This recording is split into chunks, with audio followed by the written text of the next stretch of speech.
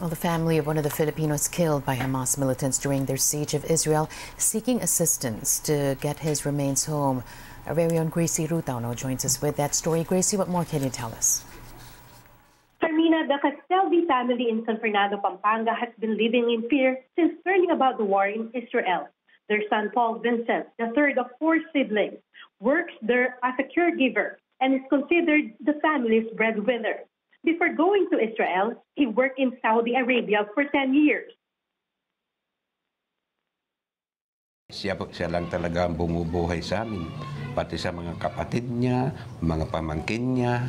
Ang, ang kung talagang mabibigyan lang siya ng pagkakataon, talagang ang hangad niya ay magkaroon kami ng talagang buhay na, mag, na maganda. Kaya siya lumayo sa amin. Paul Vincent has not returned home to the Philippines for the past five years due to his work in Israel. He had planned to surprise his parents in December by coming home with his pregnant wife, who is currently eight months, along with their first child. However, fate had other plans. Paul Vincent was among those affected by the surprise attack by Hamas in Gaza on October 9, 2023. According to his mother, Lilina Castelvi, the last conversation was when he told his wife they were in a bomb shelter and someone knocked on the door. They do not know if he opened it or what happened next. That was the last they heard from him.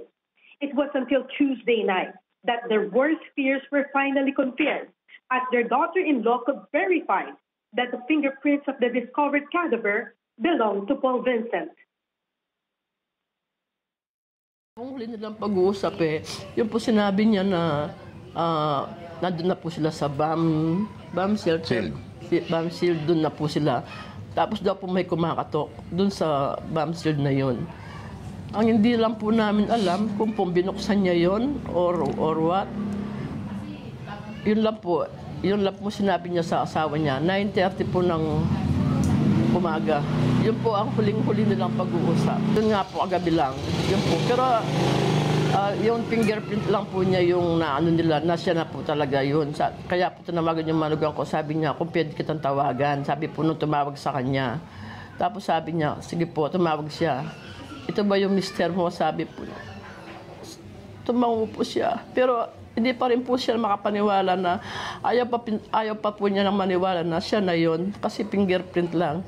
Eh baka, baka po nagkamali ganyan. Kaya sabi niya po, hanggat hindi niya nakikita yung bangkay ng anak, ng mahal niya, yung my love niya, hindi po siya maniniwala na wala na po siya.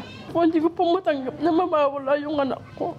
Napakasakit po sa akin na mawala yung anak ko. Napakasakit po sa amin The family blames the ongoing war between the Israeli government and Palestinian militant Hamas for their son's death. Their neighbor, Evelyn Rocket, described Paul Vincent as kind and loving, and everyone in the community was shocked and saddened by his death.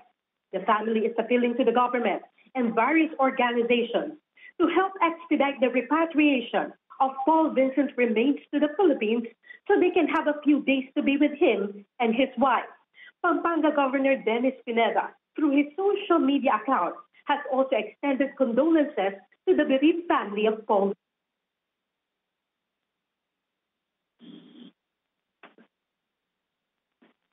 Filipino, Paul Vincent from Pampanga, and a 33-year-old woman from Pangasinan. The Philippine Foreign Affairs Department raises the alert level for the besieged Gaza Strip from 2 to 3. The higher alert level means Filipinos there are urged to consider repatriation on a voluntary basis. There are 137 Filipinos living in Gaza. The DFA says the Philippine Air Force is preparing for the potential evacuation of Filipinos. yung mga tiga-Gaza, hindi sa tiga-Gaza, no? yung mga Gaza, eh, may blockade ngayon. Kaya gumagawa pa tayo ng diplomatic contacts para payagan silang, may mga 70 na gusto 20 sila, mga Pilipina may asawang Palestinian, at tayo run back through Egypt.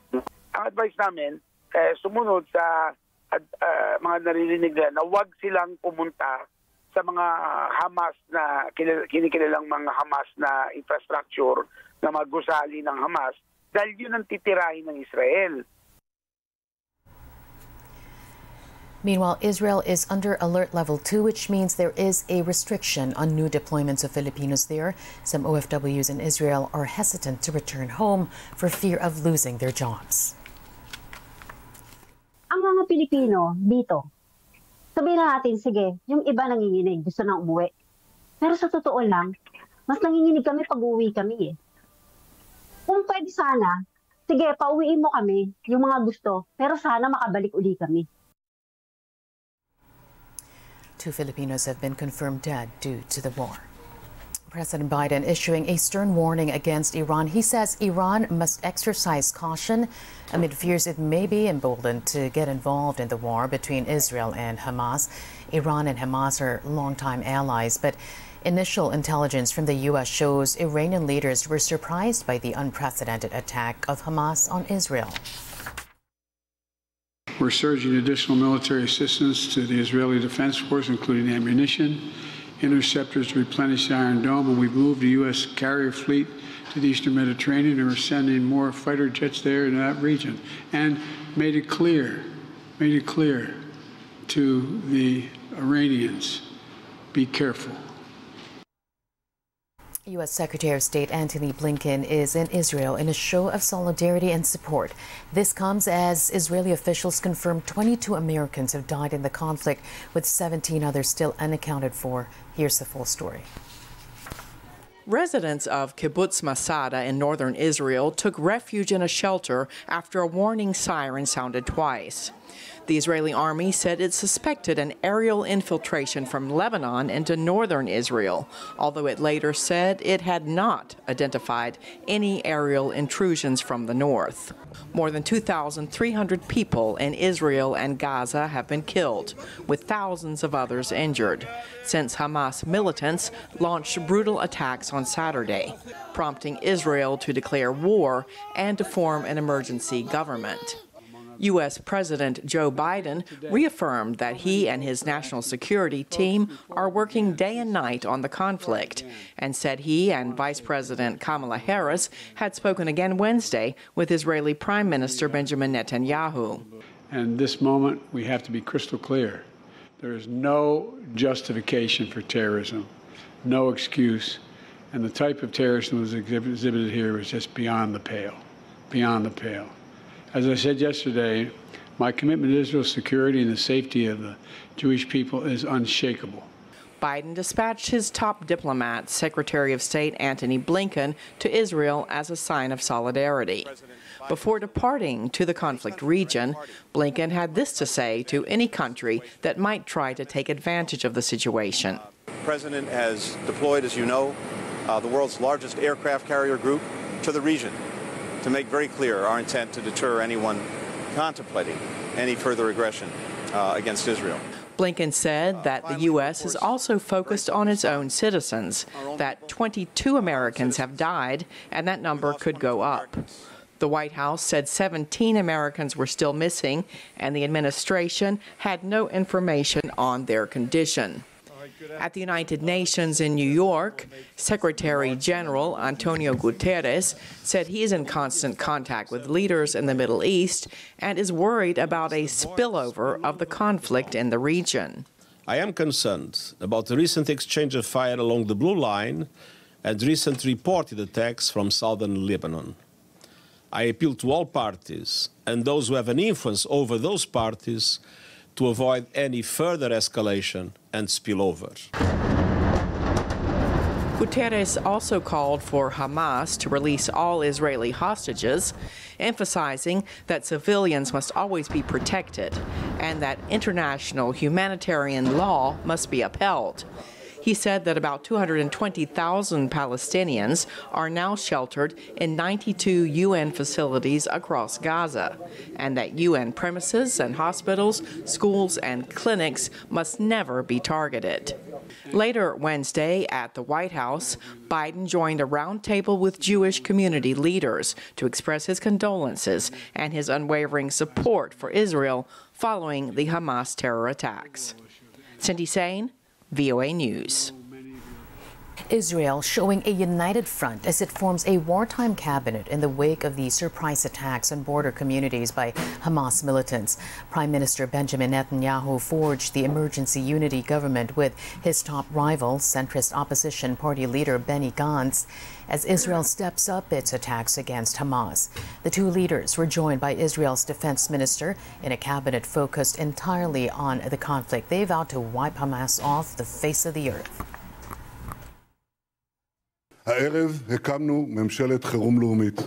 The people of Israel are united, and today its government is united. שלו מאוחדת.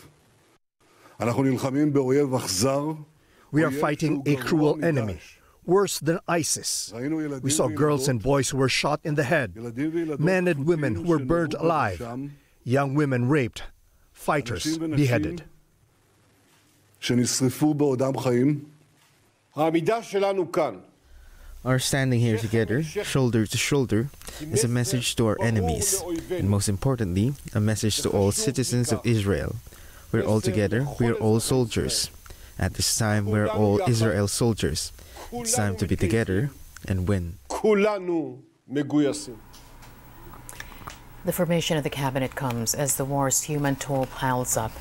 Over 1,200 Israelis and more than 1,100 Palestinians, about half of them children, have been killed. The devastation caused by Hamas incursions also becoming clear, with bodies lying in the streets and homes riddled with bullet holes. Israel's airstrikes, meanwhile, reduced homes in the Gaza Strip to rubble. Stop the carnage of civilians. That's the appeal of Palestine's ambassador to the United Nations as he calls the destruction in Gaza extremely horrific. Ambassador Riyad Mansour also urges Israel to allow humanitarian assistance to reach the people of Gaza. He insists the cycle of violence and deaths must stop. What we need, uh, if people, you know, to, uh, to, to learn the lessons from all these tragic, you know, incidents, is to move in the direction of making peace peace would require that the Israeli side to recognize that we exist and we are humans and we have national rights and aspirations. And these national rights and aspirations should be fulfilled, and there is global consensus on them. The two state solutions and people to live in peace and harmony as good neighbors, which would require the end of occupation.